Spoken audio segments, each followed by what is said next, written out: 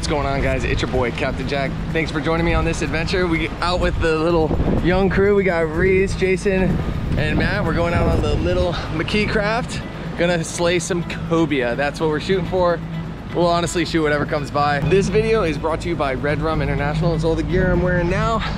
Go ahead and check them out. High quality apparel. I will leave a discount code in the description below as well as their website. But we're gonna get after it. We're gonna slay it. Thanks for tuning in and we'll see you guys out there on the water.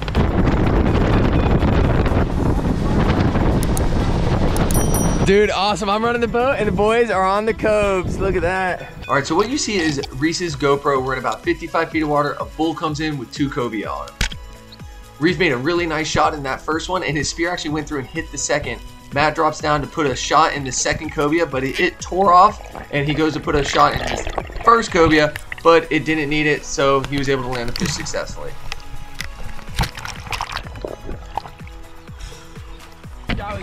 Nice, bro. Good shot.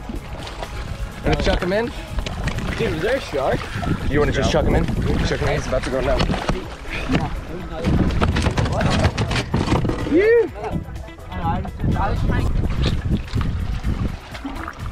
Not bad. Yeah, dude. Hell yeah. Hold on by your face again.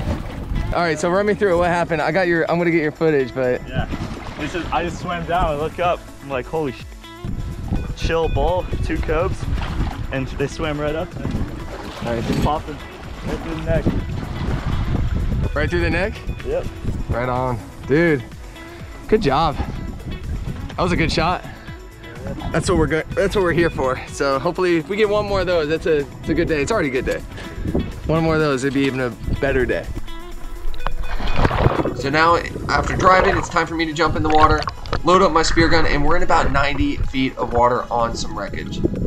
Of course, the bulls come in. There's a little Cero right there. A lot of life came into the flashers, and I figured that's a good time to drop. Sure enough, there's a cobia at the end of the flashers, but he's kind of small, and we already have one in the box. I sort of opt out on shooting him. Just head to the surface, let the guys know he's a little bit too small, and I'll let this guy grow up and be a little bit bigger for the next time.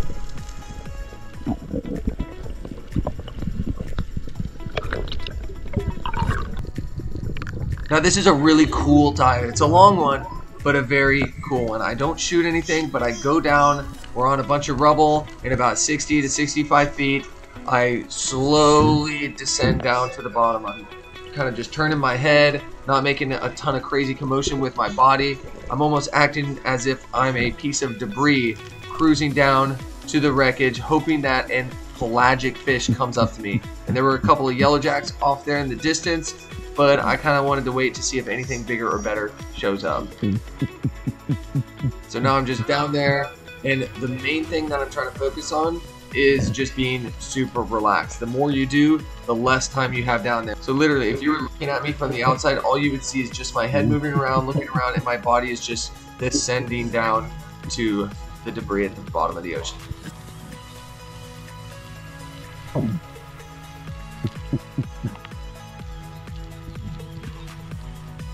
the cuda that comes up to me. There's a lot of bait fish. There's a lot of life and a lot of current, so this is a really good sign. And I look in this culvert and I see a gigantic loggerhead turtle.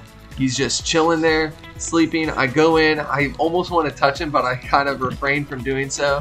I get a little close to his face and I start making a little bit of grunting noises. And you can see him slowly open his eyes. He's so adorable and kind of it's nice to see something different on a dive like this. And you can see him kind of very gently open his eyes, and I was like, oh, I don't want to make him move. So I just got out of there, saw a shark off in the distance, some more of those yellow jacks, and I just decided to head to the surface, just enjoy a nice little dive like that.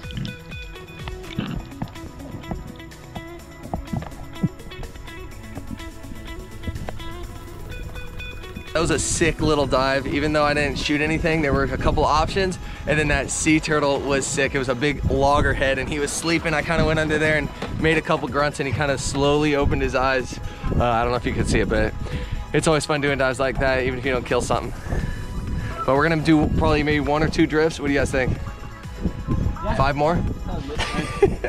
More. Yeah, we're gonna get back in the water though. So I was hoping to get something for dinner. I made a blind drop on this same kind of wreckage. There was a CUDA that came into the flashers, so maybe something might be falling, And sure enough, something is cruising with the CUDAs. There's a permit at the tip of my gun there, and I follow this guy around for some solid time. I'm lining up, waiting for him to give me a shot, and I just stay patient. That's the main thing. Stay patient. Fish will eventually give you the shot. Had to clear my ears again because I kept getting deeper, and he finally gave me the broadside shot. Now on my way up, my calves started cramping, so I couldn't put a lot of pressure on this fish. And luckily there weren't really that many sharks around. I knew the buddy divers were right on the tail of the fish, so we were able to get him and I wanted to make sure we got him before he got to any wreckage, which is what we did, and we landed the fish successfully. What you got? Here we go, good eating size. Oh, it's, it is super sharp, that this spear. You know, do you? Almost like. uh, you guys wanna- The shininess. Kind of weird shadow. Fish number two.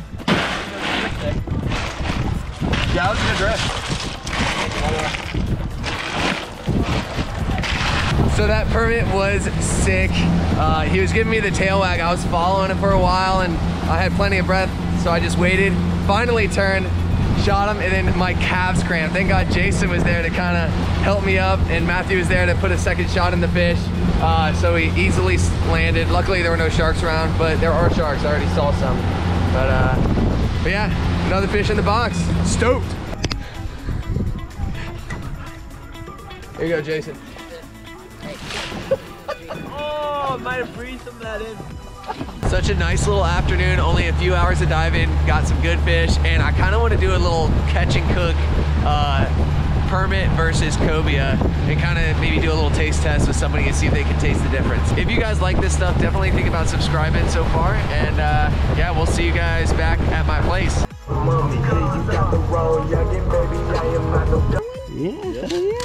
Where did we get this one? Is it a toothpick? What is that? It's a spine. It's Oh a- no, Oh my it's God, a is it a stingray. ray Dude, it's a stingray spine. No That's what it is. Yes. You know, you know why? They hang on. Because they um That's definitely because they they hang around the stingrays and the stingrays like shoot out like flounder and crabs and they go and get them and sometimes I guess when they take off after them the stingray will whip up and get them. That's Look at crazy. that. Has eggs too. What's going on everybody? So we're back at my house and I'm gonna show you what I'm gonna do with this permit and cobia. So I chunked these suckers up into like two inch pieces. This is permit and this is cobia. I kind of did those open face. I'm gonna cook them on the grill. It is permit or cobia, sauteed jalapeno, pineapple, and they're wrapped in bacon. And then I also went ahead and threw the rest in here. This is permit, this is cobia. I kind of want to get a taste test and compare the two. I'm not going to tell Devin which are which, but she's going to go ahead and try them and she'll give you an honest opinion about them. Okay, so this stuff is looking good. Check it out. Woo! It can't be bad. The perfect spicy sweet combo and uh, I'm interested to see the comparison between these two cooked the exact same way. Two different methods, one in foil and one just skewered on the grill. So stay tuned. And if you like this video, go ahead and give it that thumbs up. You! All right, got everything off the grill. Looking good. This is cobia, this is permit. I'm gonna let Devin taste test it and see which one's her favorite. Pile. Good? All right, now round two. Yeah.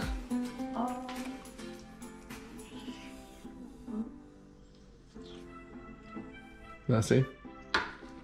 Yeah. Which one do you like better? Number one or two? Number one, cobia. Yeah. She chose cobes.